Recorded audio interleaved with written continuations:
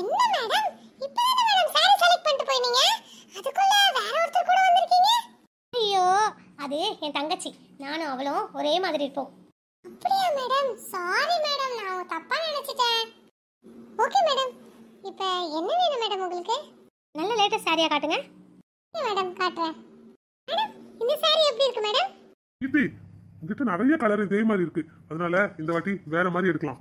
வேற மாதிரினா எப்படி ஆதி? அதான் இந்த கேரளா டிசைன் மாடல் சாரியே நிறைய எடுத்துட்டேன். அது ரீசெண்டா வந்ததுன்னு. இப்ப நம்ம வேற மாதிரி எடுக்கலாம். ம் ஓகே ஓகே நீங்க வேற காட்டுங்க. ஓகே மேடம் இந்த சாரி பாருங்க மேடம் கீர்த்தி உனக்கு இந்த கலர் சூட் ஆகல. வேற கலர் வேற ட்ரை பண்ணுவோமா? என்ன அதே உங்க பிரச்சனை? இருக்கிற கலர்ல சாரி எடுத்தா அதே கலர் இருக்குங்கிறீங்க. என்கிட்ட இல்லாத கலரை எடுத்தனா இந்த கலர் உனக்கு சூட்டே ஆகலங்கிறீங்க. இப்போ நான் என்னதான் பண்றது? சார் மேடம் சொல்றதும் கரெக்ட் லேடிக்கு தான் சார் தெரியும். அவங்க சாரி செலக்ட் பண்ணது எவ்வளோ கஷ்டம்னு. அவர் அப்படிதான் பேசிட்டே இருப்பாரு. நீங்க வேற சாரி காட்டுங்க. ம் ஓகே மேடம் மேடம் நான் ஒன்று சொல்லட்டுமா மேடம் என்ன சொல்ல போறீங்க? இவ்வளோ நேரம் அவர் சொன்னாரு சாரி நல்லா இல்லைன்னு எனக்கு. இப்போ நீங்க அதை தானே சொல்ல போறீங்க?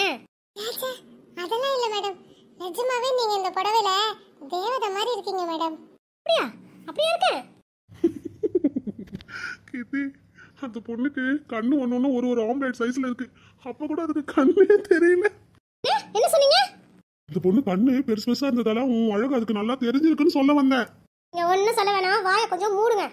ம் சரி. நீங்க இந்த புடவை பேக் பண்ணுங்க. மேடம் நான் இந்த புடவைல அழகா இருக்கீங்கன்னு சொன்னதாலே அந்த புடவை ஓகே பண்ணிட்டீங்களா மேடம் அப்போ ஏன் மேடம் இவ்வளோ கோவமா இருக்கீங்க? அதெல்லாம் ஒன்றும் இல்லை. நிஜமாவே எனக்கு இந்த புடவை பிடிச்சிருக்கு. இதே பேக் பண்ணிடுங்க. ம் சரிங்க மேடம் நான் என்ன தப்பா சொல்லியிருந்தேன் என்னை மன்னிச்சிடுங்க மேடம். நீங்கெல்லாம் ஒன்றும் தப்பாக சொல்லலை.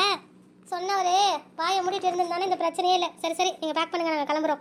வாங்க போகலாம் ஐயோ இப்பதானே பிரச்சனை முடிஞ்சு அவளை கூட்டிட்டு வந்தேன். அதுக்குள்ள திரும்பவும் பிரச்சனையா? ஆதி உனக்கு நிஜமாவே வாயில தாண்டா கொழுப்பு இருக்கு. வாயை வச்சுட்டு சும்மாவே இருக்க மாட்டேன். ஏதாச்சும் ஒண்ணு பண்ணி கோவத்தை ஒண்ணு பண்ணிடுவேன். வா கீர்த்தி போலாம்.